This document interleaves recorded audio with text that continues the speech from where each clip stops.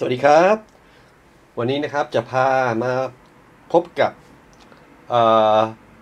ตัว charger นะครับ ตัวหนึ่งนะครับที่เป็นเขาเรียกว่าเป็นมัลติพอร์ต USB charger นั่นเองตัวนี้คือเป็นของ Xiaomi นะครับ มีอยู่ 5 port ด้วยกันครับ ก็จะมาแกะกล่องแล้วก็มาแนะนำกันเนาะจริงก็ไม่ได้มีหน้าที่ของมันไม่ได้มีอะไรนะครับ ก็คือทำเป็นตัว chargerให้กับตัวอุปกรณ์ต่างๆ นั่นเองนะครับรวมถึงตัวสมาร์ทโฟนด้วยเพราะว่า เจ้า Mi multiport charger ตัวนี้ก็คือรองรับตัว Quick Charge 3.0 ด้วยนะครับ มาตรฐานการชาร์จอย่างรวดเร็ว ตัวสเปคของมันนะครับ จริงๆเขาเป็นภาษาจีนนะ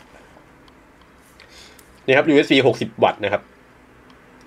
1 2 3 4 5 6 คือเหมือนมี 6 พอร์ต จริงๆ ก็คือมี USB 5 พอร์ตแหละ แล้วก็จะมีตัว Type C อยู่อันหนึ่งนะครับรองรับฟีเจอร์ของมันนะครับก็คือชาร์จ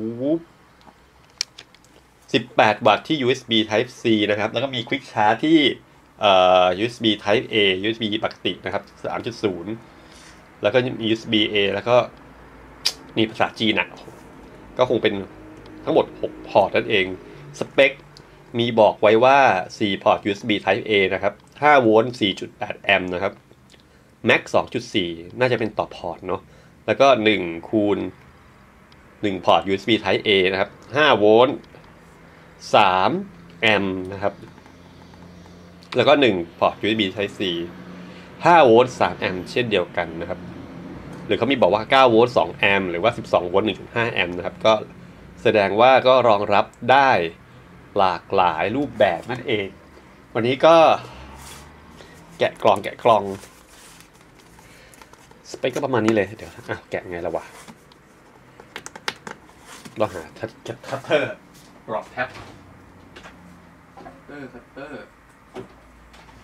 ไม่เตรียมไว้ด้วยอยู่ไหนแล้วเนี่ย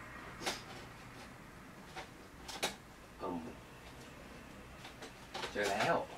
ขออภัยไม่ได้เตรียมไว้ครับ ปล่อยให้เรานานทึบ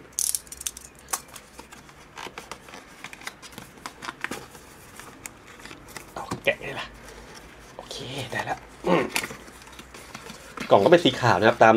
แบบฉบับของเสี่ยวมี่นะครับ เสี่ยวมี่อ๋อเสี่ยวมี่เขาเรียกเขาเรียกเสี่ยวมี่สิเสี่ยวมี่นะครับ ในกล่องมีอะไรบ้างอะต้องดูว่าเฮ้ย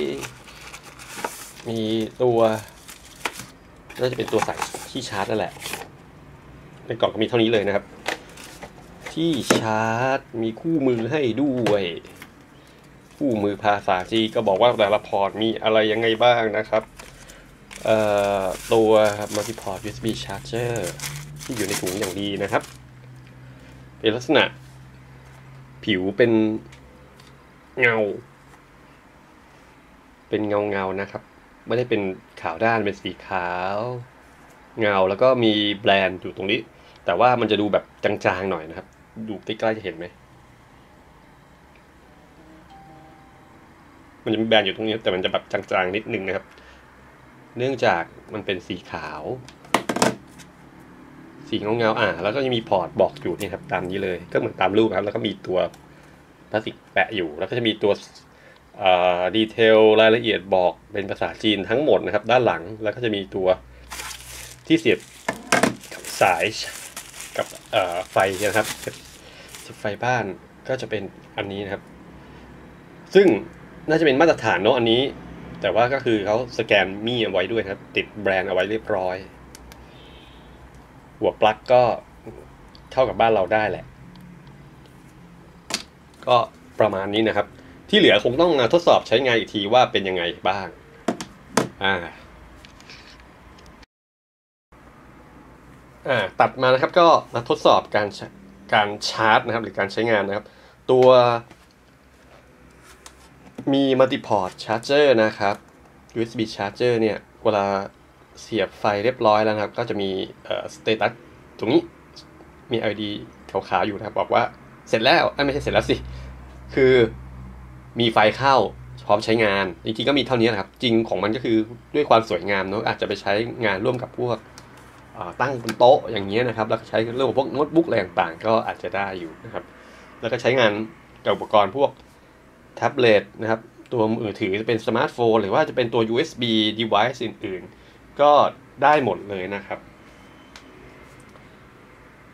หรือว่าจะใช้เป็นอ่าอย่างเช่นตัวมีแบนก็ได้เนาะตัวนี้ใช่ไหมโอเคตัวอย่างเสียบข้างล่างโอเคอย่างนี้ครับ ก็เอามีแบนเนี่ยชาร์จได้ อุปกรณ์ได้ทั้งหมดต้องห้าตัวนะครับหกตัวรวมถึง USB C อีกตัวหนึ่ง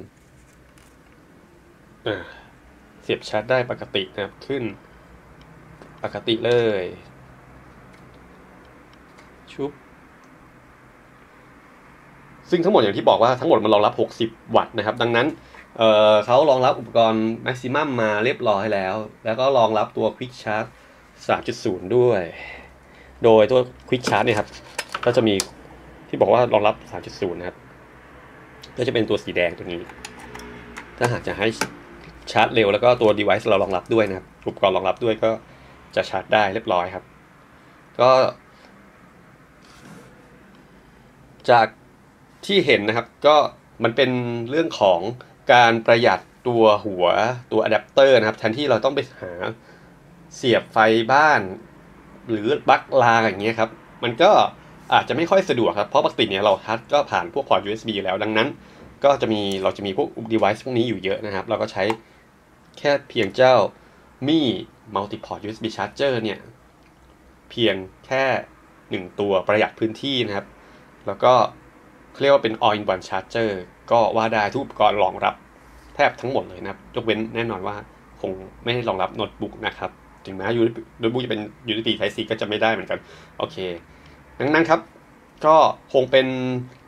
เรื่องของการพกพาสะดวกการติดตั้ง แล้วก็การประหยัดพื้นที่ แล้วก็เอามาแทนพวกปลั๊กลางที่เป็นอะแดปเตอร์ทั้งหลายนะครับ ที่ต้องใช้อุปกรณ์ที่ใช้อะแดปเตอร์ทั้งหลายเนี่ยแล้วก็ประหยัดพื้นที่ได้เยอะมากเลยนะครับ แล้วก็คล่องตัวในการพกพาด้วยครับ วันนี้ก็ขอบคุณมากที่ติดตามชมนะครับ เอาไว้พบกันในรีวิวฉบับรูปภาพอีกทีนึงแล้วกันนะครับผม สวัสดีครับ